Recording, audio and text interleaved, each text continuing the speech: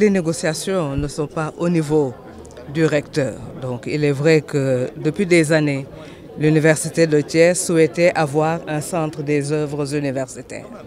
Ce qui est chose faite depuis l'année dernière.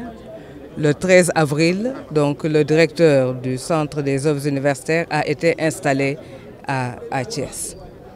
Et grâce à cette installation, L'Université de Thiès, je crois, est la première université sénégalaise à avoir repris ses cours dès le mois d'octobre. Dès le 1er octobre, grâce à cet accompagnement du social, les étudiants ont pu regagner leur classe. Et nous étions en période d'examen pour certains et donc en plein euh, travail dans l'ensemble de l'université. Mais le problème, c'est que le Centre des œuvres universitaires a eu à rencontrer des difficultés et les difficultés d'ordre social ne peuvent pas épargner le pédagogique.